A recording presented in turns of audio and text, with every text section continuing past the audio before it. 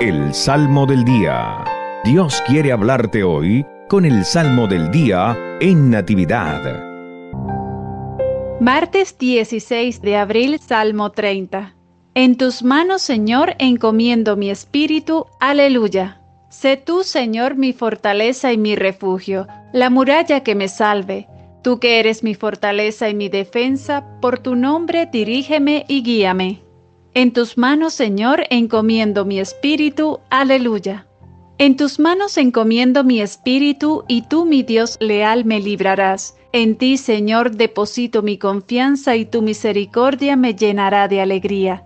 En tus manos, Señor, encomiendo mi espíritu. Aleluya. Vuelve, Señor, tus ojos a tu siervo y sálvame. Por tu misericordia, cuídame, Señor, y escóndeme junto a ti, lejos de las intrigas de los hombres.